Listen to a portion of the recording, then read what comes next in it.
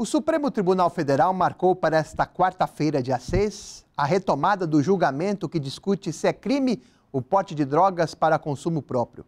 Conferência Nacional dos Bispos do Brasil reiterou em comunicado sua posição contrária à descriminalização do uso de drogas.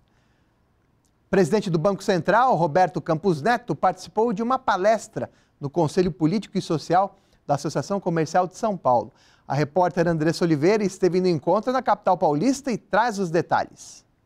O encontro aconteceu na sede da Associação Comercial na região central de São Paulo.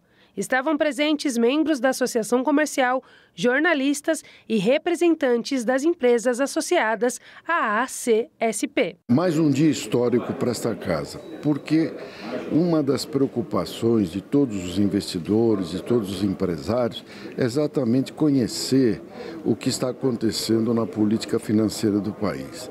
E nós percebemos hoje, com a vinda do Roberto Campos Neto, que as nossas finanças estão em boas mãos. Né?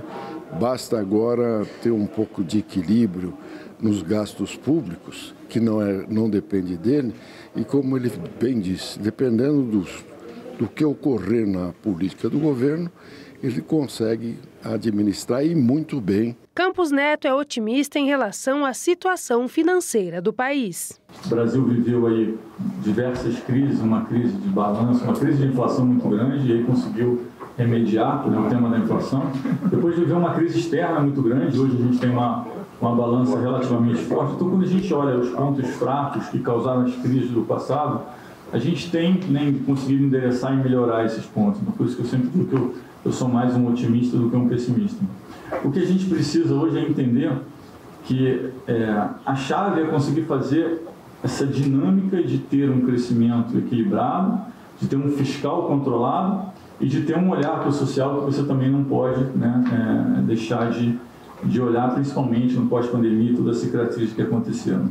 A gente hoje está numa dinâmica de curto prazo, onde a gente tenta fazer um fiscal equilibrado e tem que ir um pouco mais pelo lado da receita do que pelo lado do gasto, porque no Brasil é difícil cortar gasto de forma estrutural.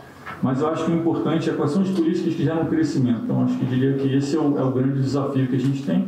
A gente andou, a gente fez algumas reformas nos últimos anos que têm ajudado, mas essa é uma agenda que é uma agenda constante e a gente precisa avançar. Andressa Oliveira para a Rede Vida de Televisão.